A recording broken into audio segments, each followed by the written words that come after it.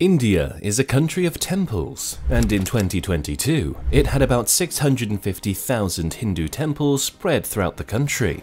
They are an enormously important part of the country's history and heritage, and Hinduism is very prevalent. Tourists travel from all over the globe to see the temples, and many are very famous, including the Somnath Temple, the Golden Temple, the Shore Temple, and the Brihadishwara Temple.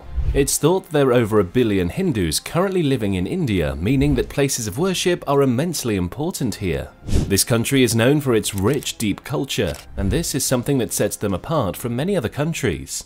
Some of its temples are ancient, a legacy of a time gone past, and many of their walls are engraved with historical archives that are unique in the world. In this kind of setting, it's hard to imagine how a new temple could stand out. But Virat Ramayan Mandir is going to. The temple complex will be located in the East Champaran district, Bihar, India. It will stand around 120 kilometers from Patna and could become an icon for the whole area. The site was apparently once visited by both Lakshman and Ram, meaning it holds religious significance for many. The temple complex will have enough room to seat 20,000 individuals in the main internal temple, and when it's completed, it will be the largest religious monument in the world. It will provide thousands of Hindi people in the area with the space to worship and find peace, and is likely to also bring in a large number of tourists interested in seeing the temple. It will serve the East Champaran district of Bihar, which is one of the poorest areas in India,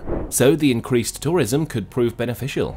Indeed, the organization responsible for the temple's construction says that the main purpose of the project is to provide jobs for locals and increase tourism. The plan was initially unveiled sometime around 2012 with the intention being to start construction in 2015. But unfortunately, there was a strong objection by the Cambodian government at the time, as they claimed that the temple held too many similarities with their Angkor Wat temple from the 12th century, which is currently a UNESCO World Heritage Site.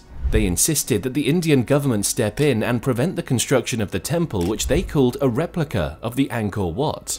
The Angkor Wat temple is an 800-year-old structure located in Angkor, and according to the Guinness World Records, it's the largest religious structure in the world at present, a title which will be usurped by the Virat Ramayan Mandir upon its completion. It should be noted that the Angkor Wat was Cambodia's most popular tourist destination at this time, and it remains extremely popular. It was necessary for the Indian government to change the temple's proposed name, which was originally the Virat Angkor Wat Ram Mandir. Other issues had to be ironed out, with meetings taking place between the Indian Ministries of External Affairs and Culture and Cambodian officers.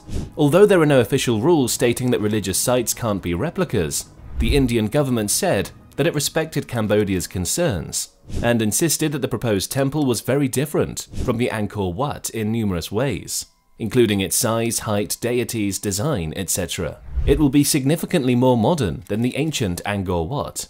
It took over five years to settle this dispute, which is part of the reason this project was so delayed from 2012. Some challenges also arose in acquiring the land necessary for the temple's construction, the trust responsible for building the temple had to deal with many locals and convince them to sell their land. Around a quarter of the land needed for the temple's site was donated, with much of that coming from Muslims as well as from Hindus. There's a projected completion date of 2025, but construction on the site only started in mid-2023, so it's still in its fairly early stages. And for such an ambitious project, there's a chance of delays occurring. According to the plans, the first phase of construction was scheduled for completion by November 2023, and this involved worshipping at the construction site followed by the work on the building's foundation. The project is being undertaken by the Mahavir Mandir Trust, which is funding the project at an estimated cost of $78 million. The trust is paying for construction materials but is also depending on donations to fund the temple. The trust is currently made up of 11 members and is registered under the Bihar Hindu Religious Trust Act 1950. The Trust Secretary, Kishore Kunal, has been heavily involved in the project both as a spokesperson and in laying the foundation stone of the temple when construction began. In 2015, it was estimated that the land costs alone had already come to approximately $785,000. But some land was donated and many devotees are putting money toward the project's creation as well. Originally, the plan was to build the temple near Kesaria, but the land was allocated to the Mahavir Mandir Trust in East Champaran, and the original location was abandoned as a result. The construction is highly ambitious and is likely to face multiple challenges before its completion. The temple complex is to be built of red sandstone, but no estimates have been given as to how much will be required. It should also be noted that the temple's planned site stands near the Nepal border in a dangerous zone for earthquakes, so it must be built to withstand them. It will follow all the guidelines for a seismic zone V. It will cover more than 120 acres of land, and the construction will be about 123 meters tall. There's some dispute over the number of spires, with some estimates as low as 9, and others ranging as high as 18. When finished, it will stand about double the height of the Angkor Wat Temple. It will be 850 meters long and 430 meters wide. Revisions to the plans indicate that the trust has focused on longevity. Although originally they aimed for 100 years longevity, this has now been updated to a target of 250 years. The temple's design and architecture are said to have been inspired by three other temples. This unsurprisingly includes the Angkor Wat in Cambodia, but it also takes aspects from the Meenakshi Sundareshwar temple in Madurai and the Ramanathaswamy temple in Rameshwaram. Plans suggested that the construction team would work on the Shiva temple first, although no updates have been made since construction started in 2023. Another 21 temples will be completed, and the complex will have multiple layers, making it three stories high. The main Rama temple will be 66 feet tall with enough seating for 20,000 worshippers all at once. Estimates vary, but it's suggested that there will be 13 domes in total. The building will also incorporate an educational institution, known as a Gurukul, an ashram, a guest house, and more. It will also have the largest shivling in the world, which is to be in the Shiva temple. This will be about 33 feet high and 33 feet wide, and it is also under construction already. Even transporting this to the temple from its construction site at Mahabalipuram is a challenge as it's being shaped out of a 250 ton black granite rock. As a result, the trust has asked the road construction minister, Tejashwi Prasad Yadav, and the Bihar chief minister, Nitish Kumar, to improve the road that leads to the construction site so that the shivling can be transported smoothly and safely.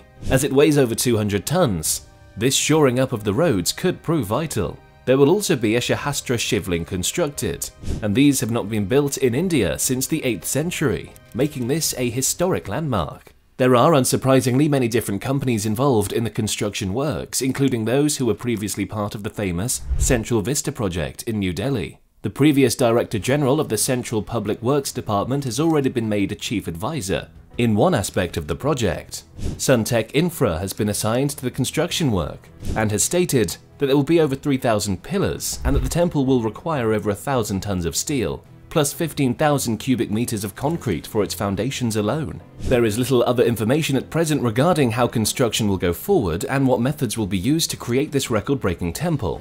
Few issues have been raised regarding its environmental impact, despite the fact that it sits on a 190-acre site there are some concerns that the government, to an extent, has ignored this area in favour of building the temple, but it's not clear what environmental reports have been made and what the results of those are. The Trust Secretary has simply said that they have clearance from the Union Ministry of Environment, Forests and Climate Change, as well as the Ministry of Civil Aviation. If steps have been taken to mitigate the environmental impact of the construction, these haven't been publicised. The temple could bring enormous benefits to India, however, and especially to the local area. It's not clear how many jobs could be generated by this temple's construction, but with 22 internal temples and around 120 acres of land that will require upkeep, there's no question that it will generate work for the local community. It has attracted some informal criticism, as people wonder whether the money could have been better spent on maintaining existing temples, but many people are positive about its potential. Additionally, with Angkor Wat pulling in almost 2.6 million tourists each year, it's easy to imagine that this could have an enormously positive impact on the economy in the local area, and perhaps also on a national level. India saw a sharp drop in tourism during the pandemic, and the creation of the largest temple on the planet could be an opportunity to regain footfall, bringing more money into the country and potentially bolstering other tourist sites too. This could be transformative for the region and possibly for the country, especially if the Virat Ramayan Mandir achieves recognition from the Guinness World Records. and potentially from other official bodies too.